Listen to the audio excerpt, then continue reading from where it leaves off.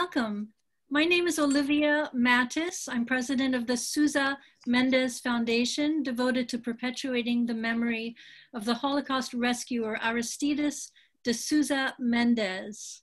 Oh, and for the past 20 or so weeks, we have been showing you stories of rescue and heroism from different aspects of Holocaust history. And today we're going to pull those strands all together and we're going to discuss the fundamental question of what makes a hero. We saw this fabulous film by Yoav Shamir, whom we're privileged to have with us here today from Israel, where they're about to go on lockdown. And we have here in the US two experts. We have Dr. Eva Fogelman, who is a psychologist, an author, and uh, an authority on the altruistic personality. We have Dr. Mordecai Paldiel, who is a historian who was for 25 years director of the Department of the Righteous at Yad Vashem, and who knows all about the history of rescue. So we'll approach this topic from several angles. Uh, today, the idea is it's going to be a very interactive program, so you are very much encouraged to put your questions and comments into the chat box and be part of the conversation. Today's program will be moderated by Dr. Fogelman. So let me uh, let me throw the program to her for some initial words, and then we're going to see a couple of little film clips and then have our discussion. So, Dr. Fogelman, how are you today? Okay. Uh, thank you, uh, everyone, for tuning in, and to Olivia for setting up uh, this uh, magnificent film for everybody to uh, uh, to appreciate and uh, that we will have an opportunity to discuss with people who really devoted a lot of time to trying to understand what makes a hero. We're very thrilled to have Yoav Shamir with us, uh, who's a award-winning film cinematographer, director, and producer who studied film at Tel Aviv University. He is often described as a rare documentary filmmaker who's fearless and willing to show us the uncomfortable truth about the world we live in. His incredible, bold, and daring spirit has taken him to Cuba, where he filmed Marta and Luis Valdez, who in the 1960s were musical stars, and now in their cities were striving in oblivion.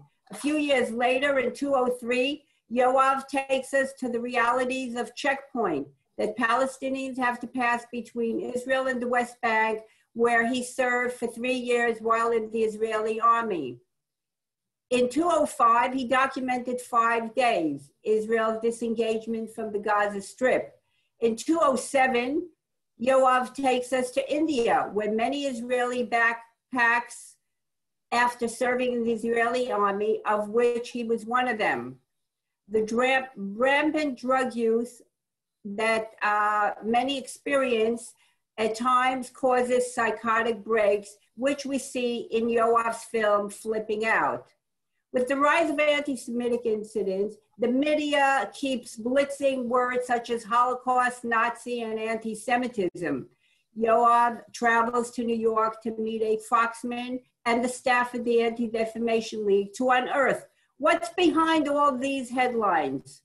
Defamation also follows senior Israeli high school students as they go on their uh, annual trip. Today, there are about 35 Israeli high school students who go to a pilgrimage to see concentration camps in Poland, and we'll get to see what their impact and this trip has on them. There's much more I can say about Yoav, who also started a production company to help other filmmakers and serve others in producing films. Dr. Mordechai Paldiel is probably familiar to many of you since he's been on quite a few of the other programs for the Sousa de Mendes Foundation. Uh, he is the expert on the rescue of Jews during the Holocaust. He's familiar, uh, as I said to all of us here, but our my path with him crossed in 1984 uh, when he started working as the director of Hasidei Umot Haolam and from which he retired 25 years later. His dedication to honor uh, those Jew, non-Jews who risked their lives to save Jews during the Holocaust, I have to say, is very exemplary. After retiring, he came to the United States and had a totally new career in which he was uh, teaching at Stern College, Queens College, Stockton, among others. He also is a very prolific writer and speaker. He's written about nine books uh, from uh, on rescuers, ordinary rescuers, to diplomats, to the role of the church, and most importantly, Jews who rescued other Jews. I'm very grateful that our paths have crossed and we continue to appreciate each other over these many years. So now, Olivia, would you like to show us a clip? Two days ago, another life was saved when Wesley Autry jumped in front of a moving train to help a stricken man who'd fallen onto the subway tracks. When I entered with my two daughters, I noticed a young man uh, falling out on the platform. His hands and legs are shaking and kicking. He was having a seizure. He landed there I jumped down there and I ran up to him. And the train was coming this, this way. And I bear hugs him like this. And I looks over his shoulder and I push him backwards. And both us went down right, right in that gutter there. And as we was going down, by me being on top, the first train car just grazed my hat. Well, the first question I think you have to ask yourself if you're not an egoist is why? Why live for other people? You know, you have one life. This is it. This is all there is. What reason could ever be given for you to live for the group, for somebody you don't know, for, for you know, for a, a history or for a future that you won't know either? Um, so I don't get the arguments, any of the arguments for it, I think are either based on emotion uh, I've never heard a rational argument for why I should live for the sake of other people. Two snippets that you saw are, you know, two diametrically opposed situations. One where a person risks his life, the other who basically says we have to basically think about ourselves and do everything for uh, for ourselves. The film, in addition to that, is a very multi-dimensional kind of film. Uh, those of you who had a chance to see it, it portrays various kinds of heroes. A non-Jew who risked her life to save Jews during the Holocaust. As you saw, the man who jumped um, uh, the, by the passing train. Uh, these are the, that kind of a uh, rescue experience is what the Carnegie Foundation uh, honors. And then we also have in the film a man who's raising consciousness about the Israeli treatment of the Palestinian, very similar to those who were resistors during the Holocaust, who helped raise the consciousness of what the rise of Nazism is all about. And then we have what is most common in our society, and these are the hedonist heroes. And for more about that, I suggest that you watch Yoav's upcoming film. Then we have, as I said, the two contrasting views of those who want to help and think it's the right thing to do, and the Ayn Rands of the world who promote uh, that people should just be doing for, for themselves. In modern culture, heroes to most youngsters are not those who engage in acts of kindness or saving a life today. Today, we have the movie actor, the sports star, the charismatic spiritual leader, the supermodel, the rich and the famous. Those are the ones that are emulated by our children today. And in fact, both ends of the film point to this modern hedonistic culture, the Kardashians, if you will. And uh, we will discuss, discuss the other dimensions of the film later. So why don't we discuss, why don't we begin our conversation, uh, Yoav and Yochanan and Mordechai, uh, by, um, my asking you, you know, what's a hero? So who goes first? You, you. can go first. So I want to say, uh, when I first came to Yad Vashem in 1982, and I, I was appointed head of the Righteous Among the Nations Department, uh, I was a little bit surprised because I had studied the Holocaust And I had only studied, you know, the bad side of the Holocaust, a lot of bad and evil, of course, but I have never heard of people risking their lives to save Jews, especially in countries like Poland, where anti-Semitism was so strong. And here I was put in charge, and people cautioned me at Yad Vashem, oh, you know, you're not going to last long at Yad Vashem because you're going to find a few good people, and uh, within a year it's going to be over. Uh, they'll close the department. And uh, it didn't happen that this. More and more stories came forth, more, thousands more were added to the list of the righteous. And it's uh, very strange. These are people, they, these are not the regular altruists like Mother Teresa who go out to India to try to help. Uh, people like Mother Teresa made a, a, rational decision based on maybe on religious consideration, but they decided they want to devote their lives to help others uh, in opposition to what Ayn Rand uh, claims uh, should be a person's behavior. Uh, most people do behave like Ayn Rand for most parts of their lives. I think what she left out is that most people also do acts of goodness for others. It's a mixed bag. But in the Holocaust, it's uh, something different. In the Holocaust, it's helping people who were condemned to death for no reason whatsoever the only reason is because they were born or because their grandparents were Jewish. And helping these people to stay alive while at the same time risking your own life. So it's not only a matter of inconvenience, you're playing with your life and the life of your family. And yet, there were so many people, I'm not saying millions, but in the tens of thousands, literally, in the tens of thousands all over Europe, who, when, it, when they were challenged to do something like that, somehow we're able to overcome the fear and somehow we're able to respond positively in spite of the fact that many of these people were also uh, uh, also held to some anti-Semitic tropes. It's not that they liked the Jews very much, but they felt that every person has a right to live. And if a person's life is being challenged simply because he was born, uh, then uh, you are also challenged. Maybe you'll be next in line because uh, nobody has a right to simply decide who is to inhabit the, this planet Earth or not. Uh, the other thing I discovered from my uh, studies of the rescues of the Jews, most rescues of the Jews did not take the initiative. They responded to a call of help. In most cases, not all, but in most cases, it's the persecuted Jew who comes up to the door of someone he may have known from before the war. He has escaped from the ghetto, he has escaped from a camp. He knocks on the door. Hi, how are you? Can I stay here overnight? And facing him is a man, maybe with a sandwich in his uh, hand over dinner, and he has to make an on the spot decision whether to allow him in to spend that one night or not. And he knows if he says no, that man outside will probably be apprehended, shot, deported to a camp.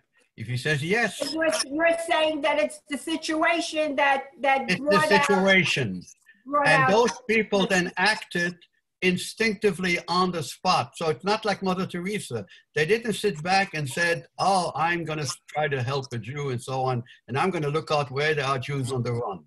It happened in a face to face confrontation, an eye to eye confrontation. And that is the great mystery and the great beauty of the story. And Yoav, now you've interviewed not just those who rescued during the Holocaust, but other situations. And, and what, what would you say is what is a hero? Well, that's that's what the film is about. Uh, so for like 90 minutes, we try to figure it out through different type of heroes. Uh, so someone uh, like Wesley Autry, the subway hero, who just happened to be in a situation, doesn't think for a second, and is doing that. You have more kind of like you have the, uh, the freedom fighter from South Africa, who took a conscious decision to go against um, her own group, the, the other whites that she was part of, and decided to go against them and fight alongside uh, the ANC uh, to uh, liberate, to do what she thought was right. So like, I mean, there's like different different type of heroes, and in the film we're trying to see if there's kind of like uh, common the the, the uh, kind of common traits that kind of like. Uh, Okay, we will we will get to the common traits later. So why don't we begin by uh, uh, Yoav? Why don't you tell us a little bit about what was the impetus for you on making this film? Okay, so actually the film started with um, uh, Professor Zimbardo and an Israeli scholar who approached me and uh, they told me about this uh, research they're doing uh, about people who transform. So they were like talking about two group of people. Uh, one was uh, Israeli and Palestinians who decided to uh, to cooperate. That uh, the army or uh, the way of uh, armed struggle is not is not the right way, and to find um, a common language with the other. So this was one group, and the other one was former gang members in the U.S uh, who quit the gangs and turned against the, the gangs, which is a very difficult thing. So they were kind of interested in finding out what makes these people transform. So that was kind of like the initial, the initial uh, idea, and then that was kind of like leading us with the film onwards to, to different type of heroism and different situations Okay, and then you went on your journey and you call your film uh, The 10%. So one of the things that surprised me is that in Milgram, and I was a student of the late Stanley Milgram, is that in his obedience to authority study, it was 33 and a third percent of the individuals who did not obey the experimenter in order to harm the, uh, the students in the experiment. So I'm wondering where you got the 10%. And the other, uh, just a point of information is that Milgram's uh, family was not a Holocaust related family. The family had come from Hungary a long time ago.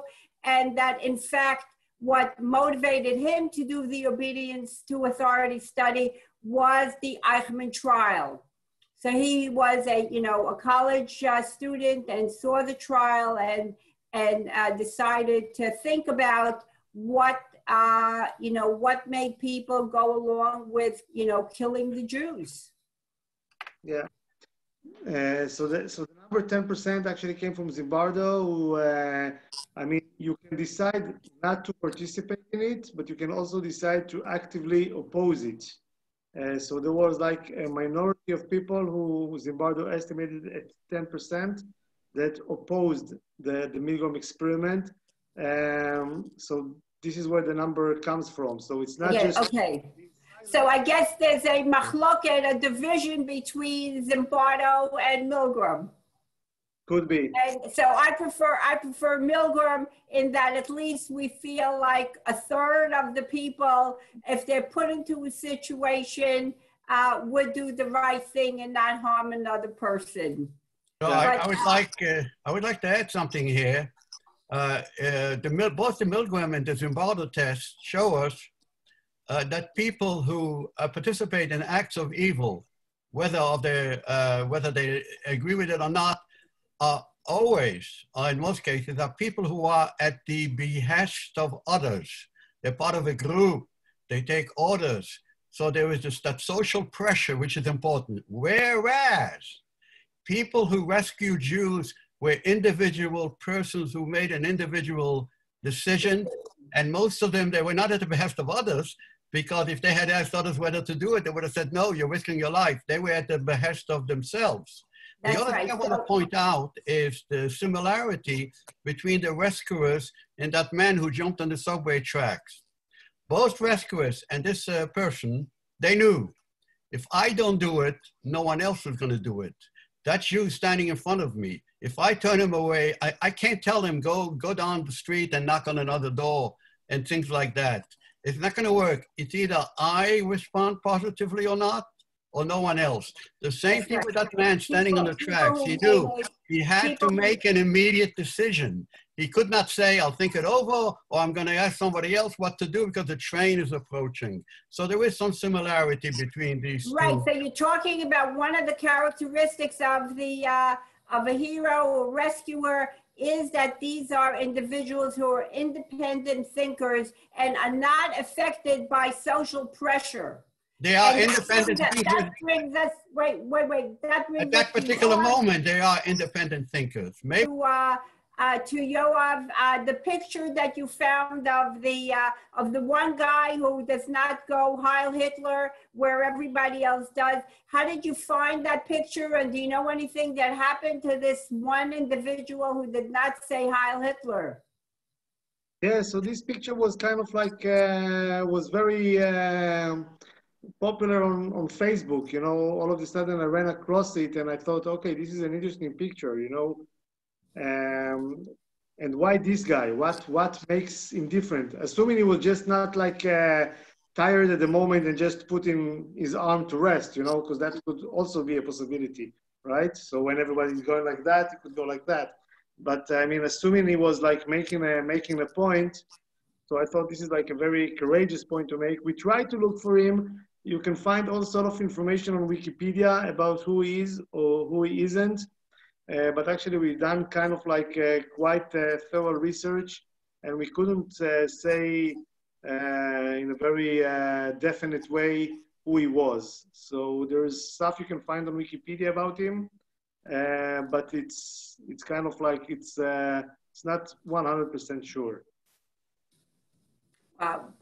And um, let's begin with uh, trying to dissect a couple of the different rescuers, uh, uh, heroes that we have in the film.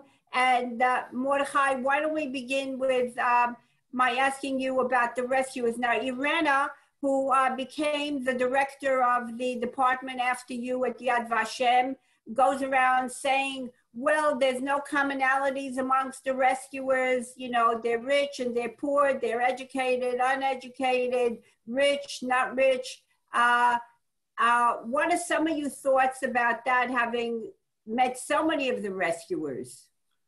it's very hard to, to define, uh, to find common denominators. It is very hard.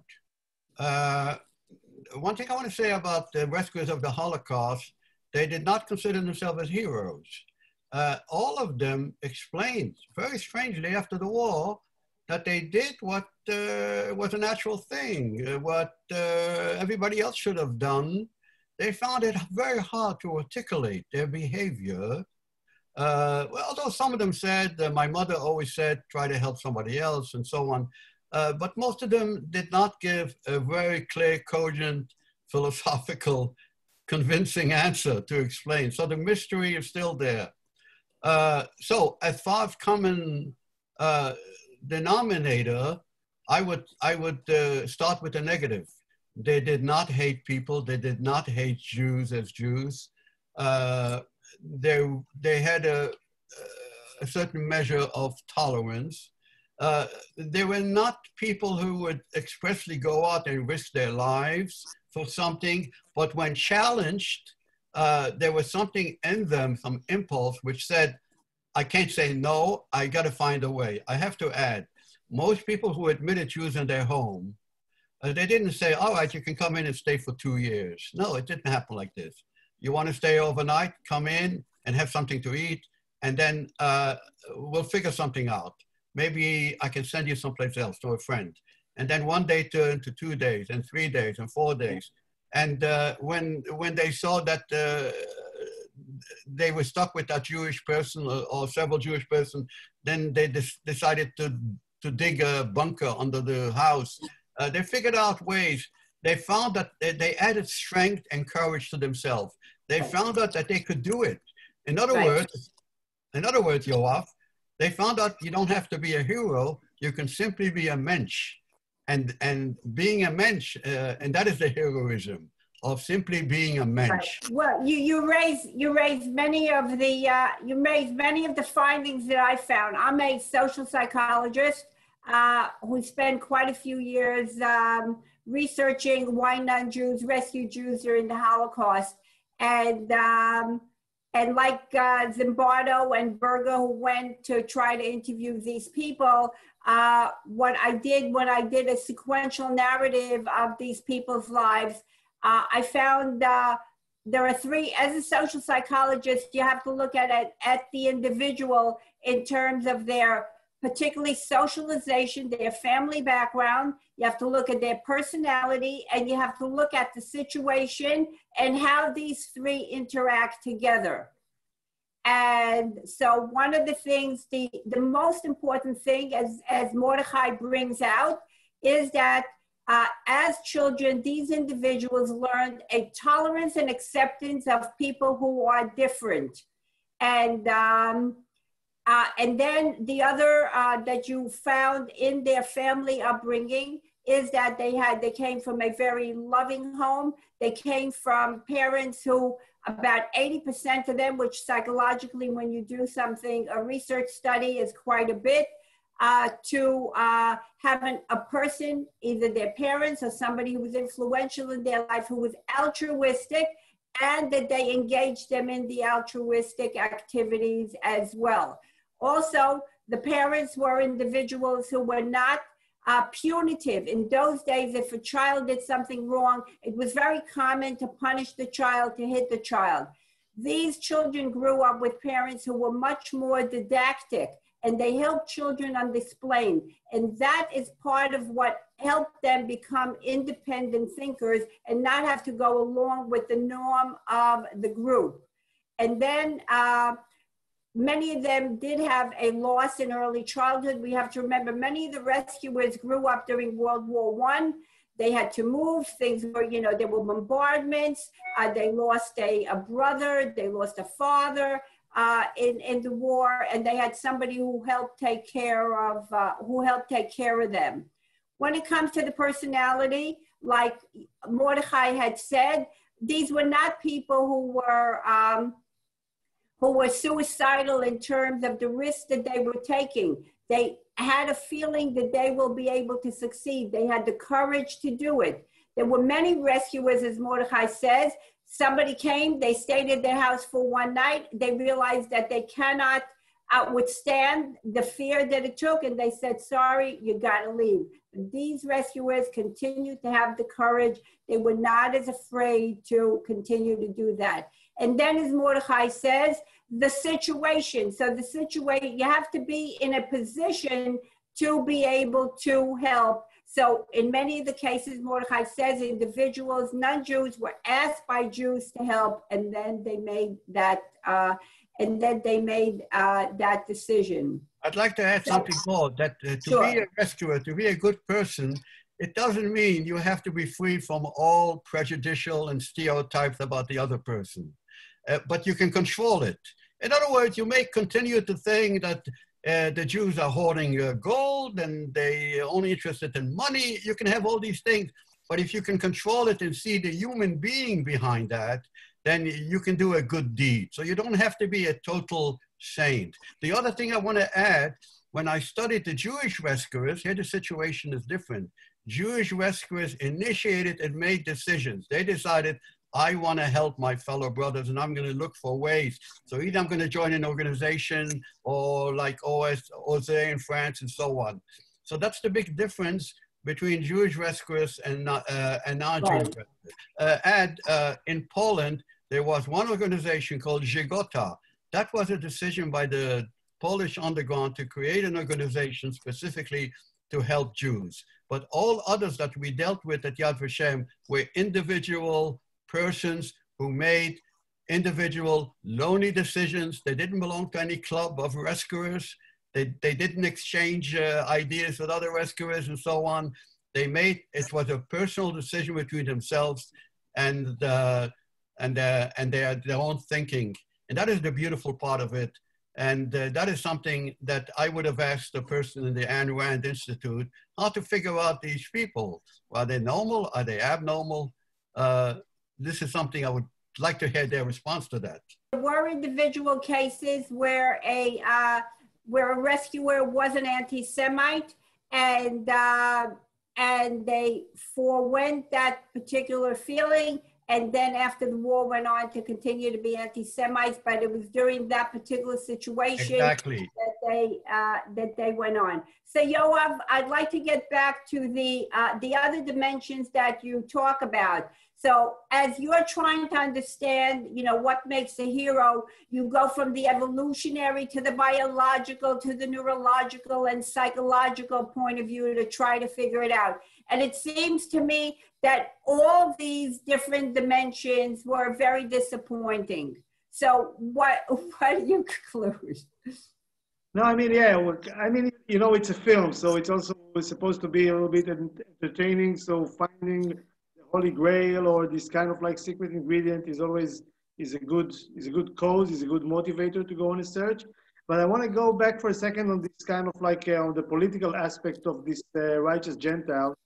And I think uh, one of the beautiful things about uh, the department that Mordechai started has to do with the very complicated political aspects of uh, Israel and the Holocaust, which started off as, uh, as the, the, the Sabras being very upset about the victims, about the Jews that, uh, that managed to survive, they did not fight enough, uh, they went uh, to the slaughter and, you know, this type of, of things.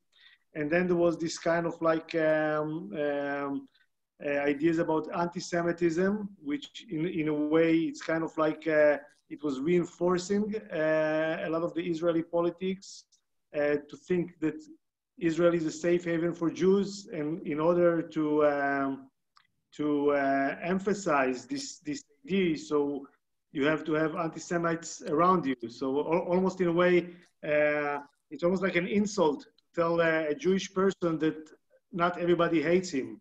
But for me, as, a, as an Israeli, it's very encouraging to learn about uh, the righteous Gentiles and to know that it wasn't just uh, one unifying uh, uh anti-Semitism and everybody was kind of like cooperating with the Nazis. So for me, actually, as uh, absolutely. an Israeli, it's uh, it's really great, and I'm really grateful for Mordechai to to kind of like put the light on these people because I think it's it's it's so important that we know there are human beings all around us and people are essentially good and uh, look for the, the the better side in humans is always better than to look for the for the for the fear and for the hate so i think i think mordechai it's it's great that you know this uh, this department telling these stories is really important also for us, for Israelis, to kind of like gain this sense of normality that is so missing. Well, I think you're right. I think it's something that I think all Jews need to understand. And one of the uh, one of the important things is that whenever you have a situation of victims and oppressors, there will all be rescuers and that's why when you film in south africa and you see the women who you know who risk her life uh, for uh, for the, the for the Africans in in Africa. Uh, that is, you know, a very good example of that. You have that example in Darfur and uh, and all the other all the other uh, situations as well. I'd like to move us to another point, which has to do with transforming moments. Uh, in Schindler's List, uh, many of you remember, you know, he begins as being a womanizer, a drunkard, uh, people, you know, who's a conniver, uses the Jews to to enrich himself, and then he has this transforming moment when the Jews are liquidated from the Krakow ghetto and are going to be deported to concentration camps. He uh, uh, um, Steven Spielberg does a beautiful thing where it's all black and white, and then there's a girl with a red coat. If many of you remember that, and that's his transforming moment where he says, you know, I'm going to help these individuals. And then he spends a lot of his own money uh, buying each one of these Jews. And um, what happens is uh, he has this transforming moment. I'm wondering, Yoav, whether in your interviews with some of the uh, the rescuers, did you feel that there was um, uh, that that individuals had some kind of a transforming moment that moved them from an ordinary person to a uh, to to a hero. So I mean, actually, the only uh, righteous Gentile that I interviewed uh, is Orlette, that unfortunately had passed away. So this is she's the woman in the film. So for her, there was, uh, she said it was obvious and she was a young woman at the time, so there wasn't such thing. But the interesting point, which we see later in the film, because we kind of like, we follow this research uh, and then we, um, um, we have these Israelis and Palestinians who transformed, and then Jonathan Shapira, uh, who's a former combat pilot in the Israeli Air Force, who decided to lead a rebellion against the Air Force. And that was during the, the bombing of Gaza. And he kind of like, uh, it's a very, very difficult thing to do, to go against your own army, uh, to disobey orders, to disobey the, the um, everyone around you, basically, and to say what we are doing is wrong. And for him, he was, he was talking about this transformative moment where he was flying to Gaza and he knew what he was going to do there, which was not very, you know, humane. And on the way, he passed above, he was a helicopter uh, pilot. And on the way, he passed above um, um, this place was a wedding. And he saw all the people dancing. And, you know, there was this uh, big uh, outdoor wedding. And then he, he, he passed above this wedding. And five minutes later, he was in Gaza this kind of like uh, life in Israel versus life in Gaza, what he was actually being part of, that really struck him uh, as you know this this type of um, uh, contradiction, these very different places. The fact that on one side people can be happy, and on the other side he himself is going to lead uh, devastation to the people I mean, he uses very strong words which are in the film, which many of us are not comfortable listening to. Uh, I know that many American Jews are very are having hard time with the um, we've seen Israelis who opposed the government, who opposed the regime, uh, who are being considered very lefties. Um, but I mean, the, this is a yeah, this is a whole different type of like Right, so you bring, you Uh, bring it to, you I'd you like, uh, bring it to where I want to bring the discussion now, which has to do with, uh, we're talking about different kinds of, uh, of heroes. So one hero is the rescuer that we've been talking about, which is helping an individual. And then we have the people who were in the resistance. So in the Holocaust, we had the resistance. We're talking about, for example, like the White Rose Group, for example. So these are not individuals who necessarily help individual people, but that they raise consciousness about what is going on. So Jonathan Shapira is one of these individuals who is raising consciousness about what Israelis are doing with the Palestinians. And what's interesting about Jonathan, as we were talking earlier about what are some of the influences that we have, Jonathan's mother volunteers to help Ethiopians and Russians. She takes in about, or she deals with about 75 of them. And Jonathan, as a child, is involved in helping all these. So this might be something that, you know, have left an impression on him in terms of one, a tolerance for people who are different, and the other also is, you know, helping another another individual, and that that was part of of who he is and that when he saw the inhumanity that you know he might have to perform he just felt that he um, that he could not that he could not do that Um, Eva, let me jump in here because there's a very active discussion going on in the chat box and I see the time advancing. I want to make sure to get in some of these voices if that's okay with you. all right so but i just have one very important thing which i want to end with here which is yoav uh, in terms of yourself that you've been going through this whole trip of you know trying to find out you know who's a hero can i be a hero?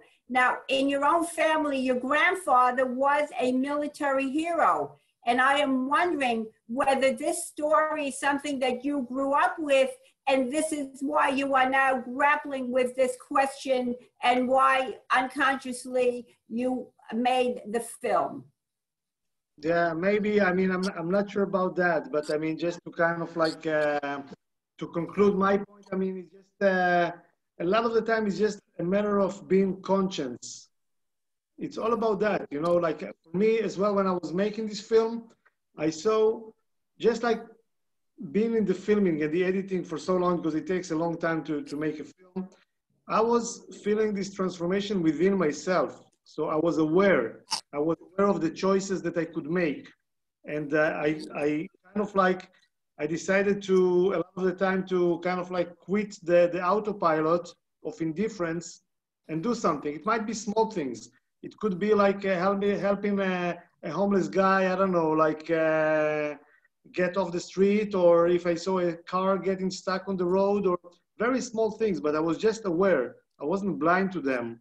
And I think a lot of these times you just, it's, it's just about, about being conscious about what's going on around you. And a lot of the time we're unconscious. I grew up in Israel uh, at a time that all I kept hearing from the other side is that Israel must be destroyed, exterminated, the Jews pushed in the sea.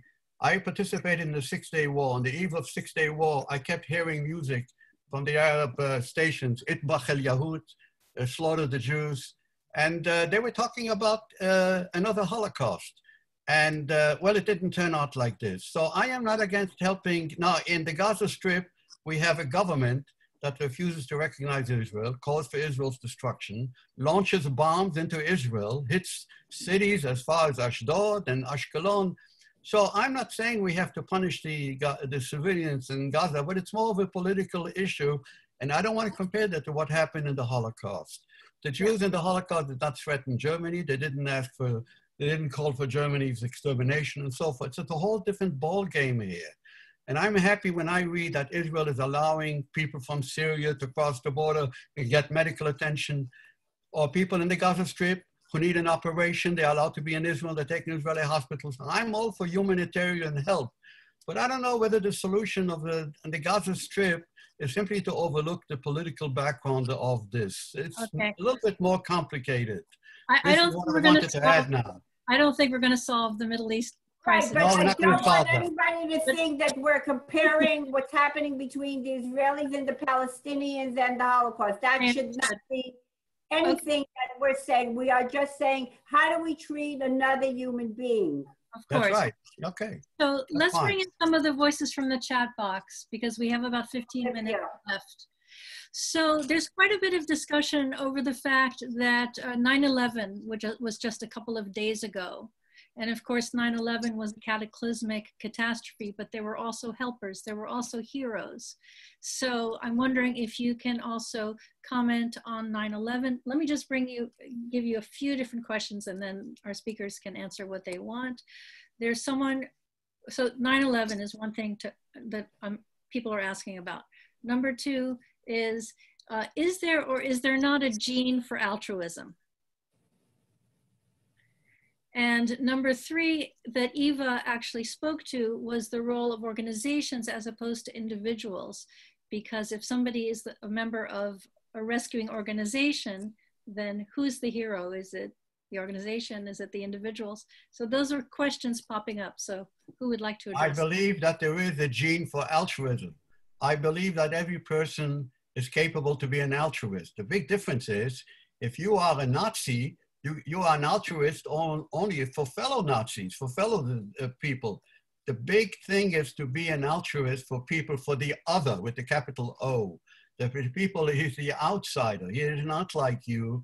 And to become an altruist and try to, to see the other person in the image of a human being. So it's not enough. Everybody, everyone has got that gene. Everyone, uh, society would not exist if people did not help out each other. Uh, so the uh, altruistic gene as well as the egoistic gene exists, okay?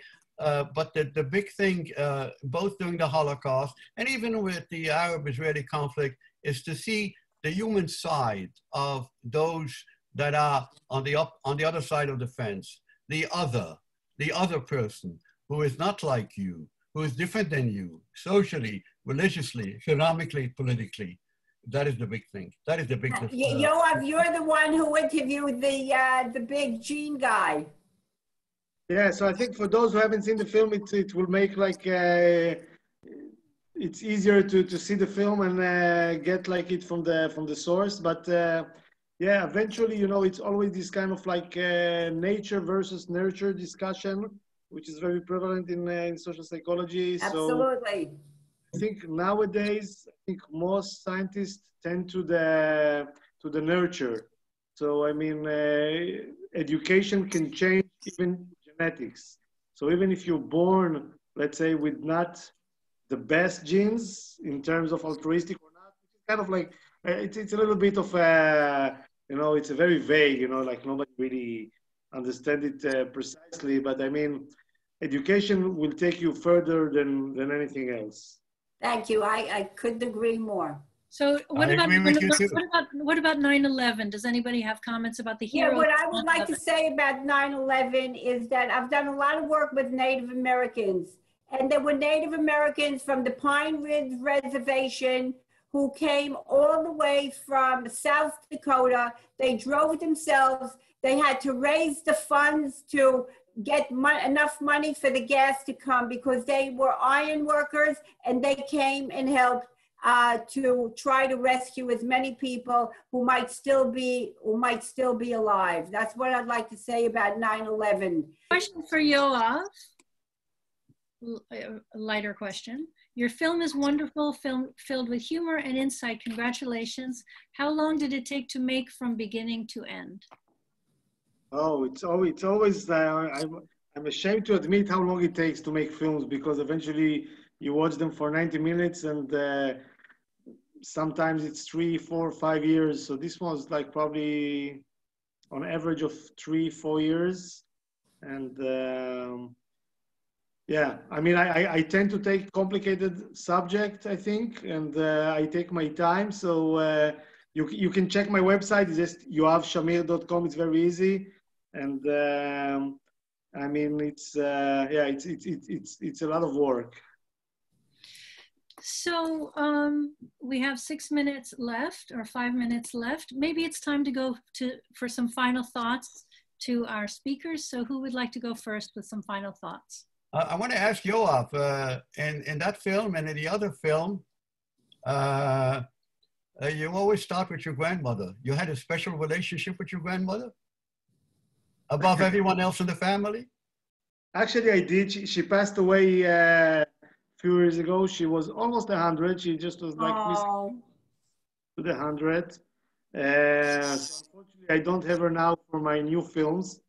Uh, at the time, we are kind of like making jokes that we should just like make a lot of interviews with her while she's still uh, alive and sharp, and uh, for whatever future projects. But uh, yeah, just uh, I mean, it's it's it's a way to kind of like. Uh, sometimes with film you just need to kind of like give the audience a cue what type of like what is the tone of the film.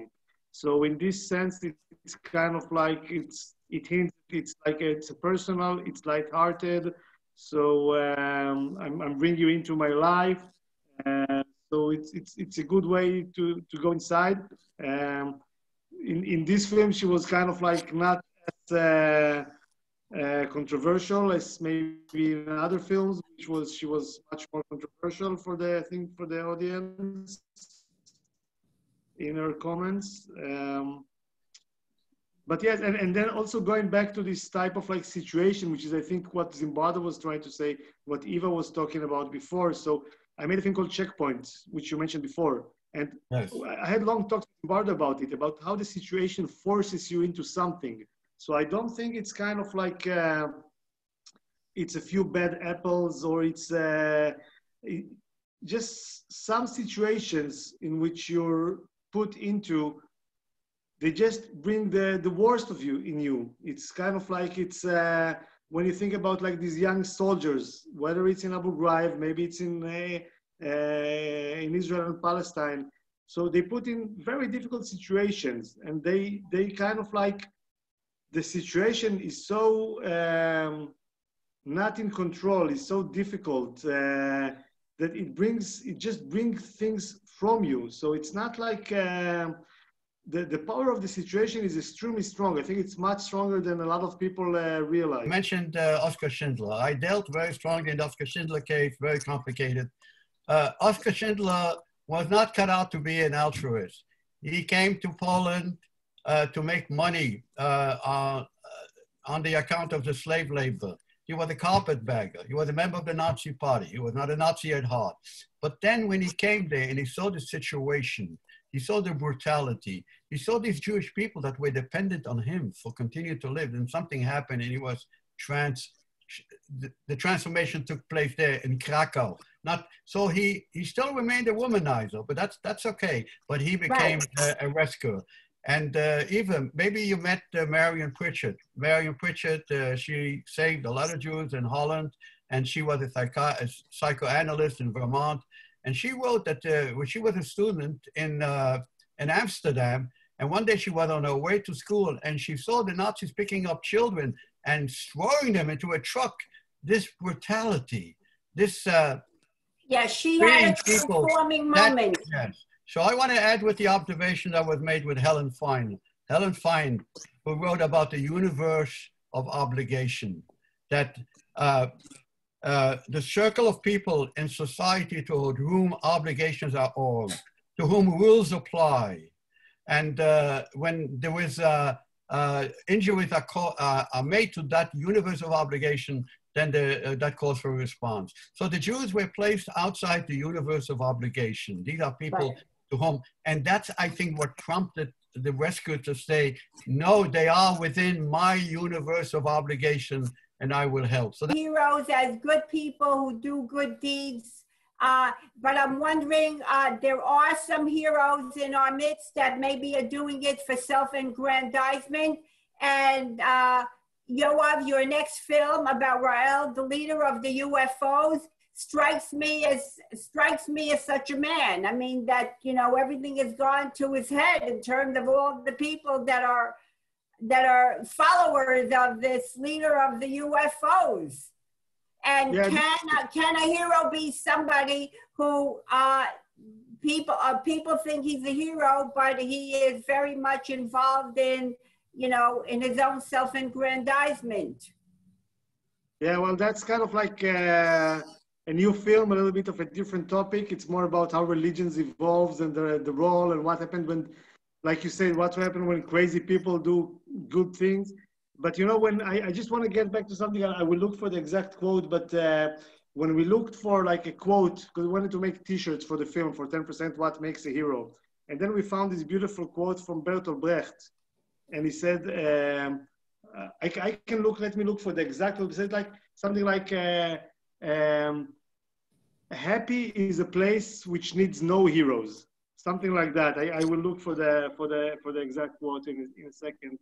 So i mean personally i would like to live in a place where we don't need the heroes where it's a peaceful society and uh, i mean just uh, the heroic thing might be just to help someone carry the, the bags of groceries. So i mean uh, better play better live in a place where you don't need the heroes. I think this is like a good sign where you're living in such a place. Okay, and what I would like to end with is asking uh, my my two discussants here.